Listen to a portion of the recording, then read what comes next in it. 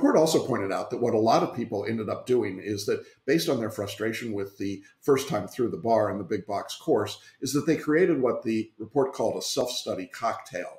And they said that when students tried to put together their own cocktail of programs, in other words, they didn't use a different bar review, but took uh, the existing material and just tried to change the percentages, it was not a significant influence on bar passage.